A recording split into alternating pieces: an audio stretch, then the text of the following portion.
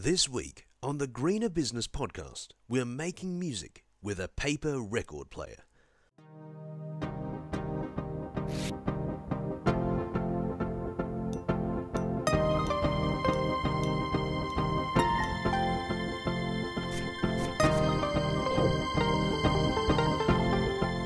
What you will need for this project, or better yet, what you will need to salvage from around your house is a stack of magazines, newspapers, or a book.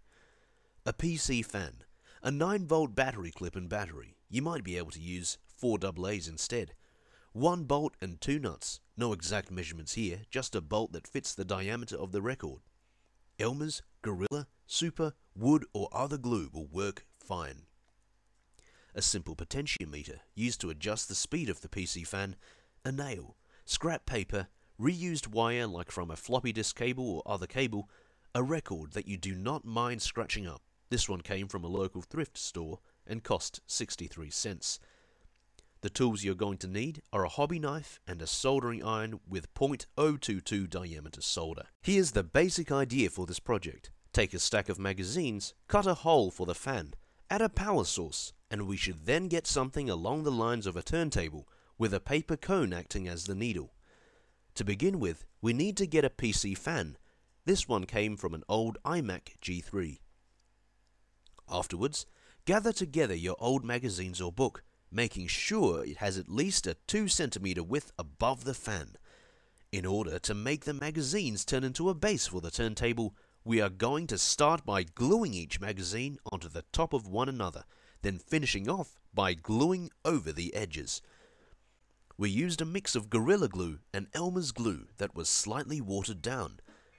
When you get underway gluing the edges, it is best to use a brush or cloth to get an even coat.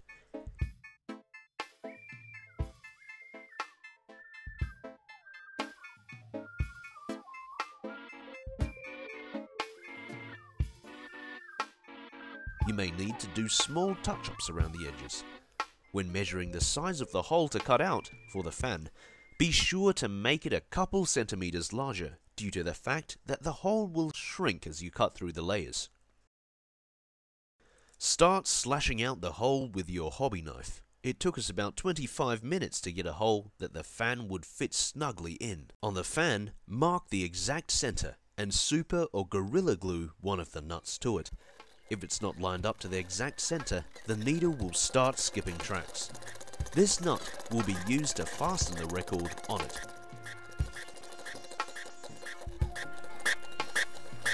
Time to now solder an extension wire onto the fan's wire. This wire came from part of a floppy drive cable. After you're done soldering, pop the fan into the hole extending the newly soldered wire through an opening in the magazine stack.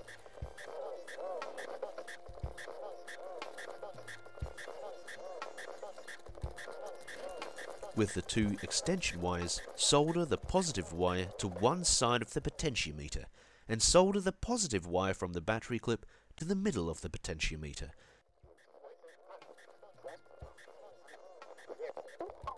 Trim the excess and make sure it works, that when you adjust the knob of the battery hooked up, it changes the speed. You can stick a piece of mounting tape onto the back of the potentiometer and either attach it to the top of the magazines which will not work well if you plan on playing larger records, or to the side, which will work for both sizes of records. The battery can be hidden between the pages of the magazine or on the side. Regarding making the actual needle and amp for the turntable, you need to get two sheets of letter-sized paper from your recycling bin, roll it into a cone, then tape. Now with the nail.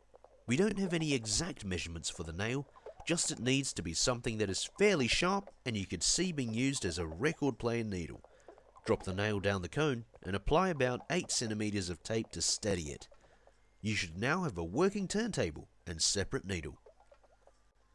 For holding the needle and paper amp onto the rotating record, you can do one of many things. Freely hold it with just your hand, use the casing from the PC fan, use a pair of wire strippers or any other creative solution.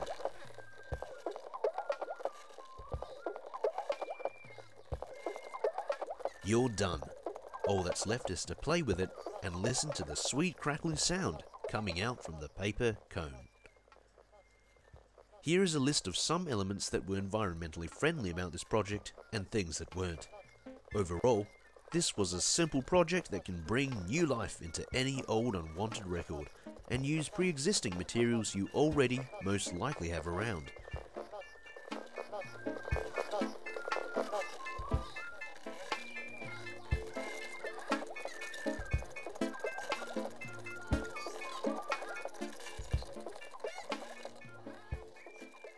Visit greenerbusinessshow.org for more information on this project and many others.